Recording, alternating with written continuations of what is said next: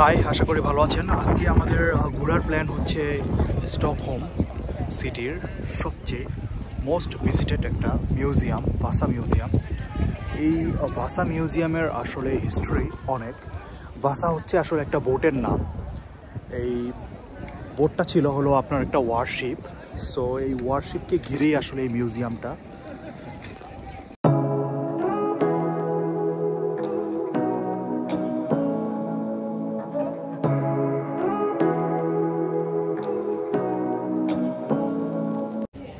এই হচ্ছে ticket counter, আমরা টিকিট কাউন্টারে আছি।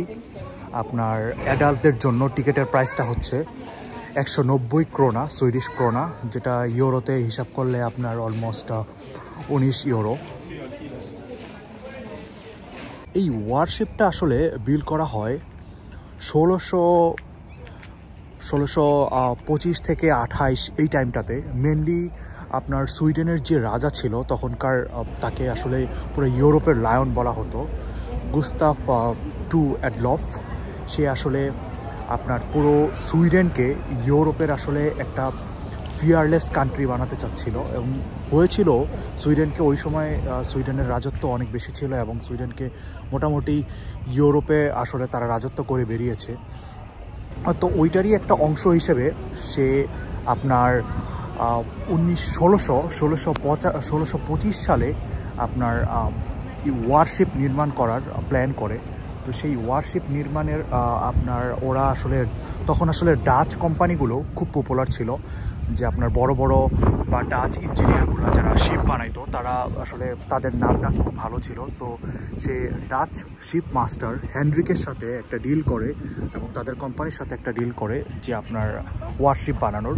তো চারটা ওয়ারশিপ বানানোর প্ল্যান ছিল, তো ভাসা ওয়ান অফ দ্যাম সো আপনার ষোলোশো সালে কন্ট্রাক্ট সাইন করে এই ভাষা শিপ ওয়ারশিপ বানানোর এবং এই ওয়ারশিপটা তখন আপনার যেরকম ডিজাইন ছিল বা যেরকম প্ল্যান ছিল, এটা একটা বিস্ট বিস্ট হতে যাচ্ছিল ওই মুহূর্তে আপনার। তো আলটিমেটলি ষোলোশো সালে কন্ট্যাক্ট করার পর তারপর কাজ শুরু হয়। ষোলোশো ছাব্বিশ সালে কাজ শুরু হয় এবং ষোলোশো ছাব্বিশ সালে কাজ শুরু হওয়ার পর যে আপনার মেইন ডিজাইনার মাস্টার হ্যানরিক সে আপনার অসুস্থ হয়ে পড়ে। তো তার অসুস্থ হওয়ার পরে আপনার ঠিক কাজ শুরু হওয়ার পরপরই অসুস্থ হয়ে পড়ে এবং যেটা হয় তার অ্যাসিস্ট্যান্টকে দিয়ে সেই কাজ কন্টিনিউ করানো হয় এবং আপনার কাজ শুরুর প্রায় এক বছরের মাথায় হ্যানরিক মারা যায়। তো আলটিমেটলি তার অ্যাসিস্ট্যান্টই পরে সেই কাজ সম্পন্ন করে। তো যাই হোক, আপনার এই শিপটা আসলে, এই ওয়ারশিপটা প্রায় আপনার সিক্সটি নাইন ফিট লং এবং fifty metre sixty nine not feet metre sixty nine metre long এবং আপনার fifty metre tall so ultimately বুঝতে পারতেছেন খুব বড় একটা শিপ এবং এই শিপের আপনার যেই ওয়েট সেটা প্রায় বারোশো টনের মতো। তো এটাতে প্রায় আপনার চৌষট্টিটা ক্যানন রাখা যেত এবং আপনার প্রায় একশো বিশ টনের মতো ব্যালিস্ট সেটা যে বারুদ, গোলা বারুদ, সেগুলো রাখা যেত। তো আলটিমেটলি বুঝতে পারতেছেন কত বড় একটা শিপ ছিল। কিন্তু মজার ব্যাপার হচ্ছে আপনার এই শিপটা যেই অ্যাডমিরাল যার আন্ডারে এই শিপটা আপনার ক্রাফটম্যানরা কাজ করতেছিল, তার একটা ডাউট হয় যে এই শিপটা আসলে যদি আমরা সমুদ্র যাত্রা শুরু করি, এই শিপটার পারফরমেন্স আসলে ওরকম ভালো হবে না বা আপনার ডুবে যেতে পারে। যাই হোক, সে একটা একটা অ্যালার্ট দিয়েছিল বা একটা, আপনার রাজাকে বলেছিল যে আপনার এই শিপটা আসলে খুব এখন পর্যন্ত সেফ মনে হচ্ছে না। বাট রাজার একটা আপনার ইয়ে ছিল যে যে এই শিপ নিয়ে নামতে হবে এবং এই শিপ তোমার সমুদ্র যাত্রা শুরু করতে হবে। তো আলটিমেটলি যেহেতু এই শিপ নিয়ে আসলে অনেক প্ল্যান ছিল সুইডেনবাসীর এবং সুইডেন রাজার এবং একটা তার ইউরো একটা ব্যাপার ছিল, তো আলটিমেটলি ষোলোশো আপনার আঠাশ ষোলোশো সাতাশ সালে কিছু গোলাবারুদ টেস্ট করা হয় এবং মিসাইল টেস্ট করা হয় ক্যানন টেস্ট করা হয়, তো সব কিছু সাকসেসফুলি টেস্ট ছিল, কিন্তু এটা কিন্তু কখনো পানিতে নামানো হয়নি, তো আলটি আপ- আপনার উনিশশো নট উনিশশো, ষোলোশো ষোলোশো আঠাশ সালে ফাইনালি এটা আপনার লঞ্চ করা হয়, সেই সুইডেনের যেই শিপইয়ার্ড ছিল যেখানে বিল্ড করা হইতেছিল, সেই শিপইয়ার্ড থেকে আপনার লঞ্চ করা হয়। তো মজার ঘটনা হচ্ছে, এই শিপিয়া এই ভাসা ওয়ারশিপটা আপনার মাত্র শিপইয়ার্ড যেখানে আপনার নির্মাণ করা হইতেছিল, সেখান থেকে মাত্র তেরোশো মিটার দূরে যাওয়ার পরই এটা ডুবে যায় এবং সেটা সাক্ষী ছিল আপনার পুরো সুইডেন স্টকহোম প্রায় হাজার খানেক আপনার স্টকহোমবাসী, তারপর আপনার বিভিন্ন অ্যাম্বাসিডর ছিল বিভিন্ন কান্ট্রির তারা তাদের সবার সামনে আসলে এটার একটা উদ্বোধন করা হয়েছিল। কিন্তু খুব বেশি দূর যেতে পারেনি তাই সেটা যাওয়ার আগেই আপনার সেই শিপটা আপনার সিঙ্ক হয়ে যায়, ডুবে যায়। আপনার প্রায় তেরোশো মিটারের মধ্যেই ডুবে যায়। তো এইটা হচ্ছে আপনার সারা ওয়ার্ল্ডের মধ্যে, ওয়ার্ল্ড হিস্ট্রির মধ্যে যে শর্টেস্ট সমুদ্র যাত্রা কোনো ওয়ারশিপের যে আপনার তেরোশো মিটার যাত্রা করেই সেই শিপ ডুবে যায়। শর্টেস্ট ভোজ ইন দ্য হিস্ট্রি বলা হয় এই ভাষাকে। সো আপনার তারপর যখন ডুবে যায়, তখন আপনার প্রায় পঁয়ত্রিশ বছর লেগেছিল এই ক্যাননগুলো এখান থেকে বের করতে।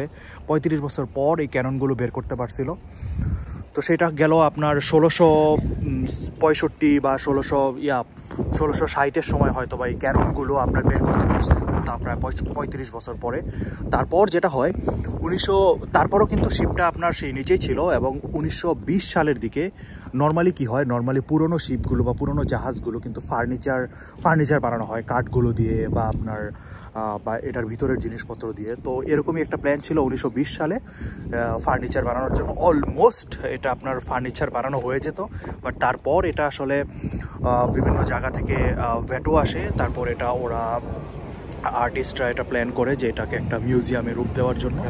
তারপর আপনার এটাকে একটা মিউজিয়ামে রূপ দেওয়া হয় এবং এখন আপনার ইউরোপের মধ্যে সবচেয়ে পপুলার একটা মিউজিয়াম হচ্ছে or one of the most visited museum হচ্ছে ভাসা মিউজিয়াম সো এই হচ্ছে ভাসা মিউজিয়ামের হিস্ট্রি সো আমরা এখন ভাসা মিউজিয়ামের ভিতরে ঢুকে ভিতরে আছি। এটা হচ্ছে আপনার ইউরোপের one of the most visited museum Vasa museum যেটা বলছিলাম যে ভাসা হচ্ছে আসলে একটা ওয়ারশিপ বোটের নাম। এবং এই বোটটার কে নিয়েই আসলে এই মিউজিয়ামটা পুরো এই বোটের ভিতরে কি ছিল বা এই বোটের হিস্ট্রি এই কমপ্লিট জিনিসটাকে নিয়েই আসলে এই মিউজিয়ামটা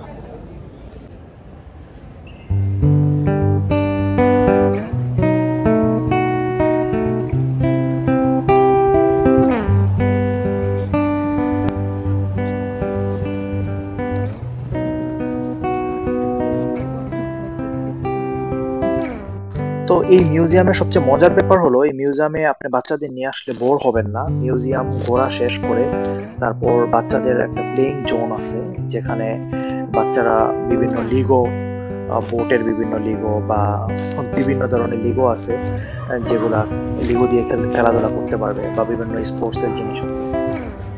তো সারাদিন পার করার মতো একটা জায়গা একটা ফান প্লেস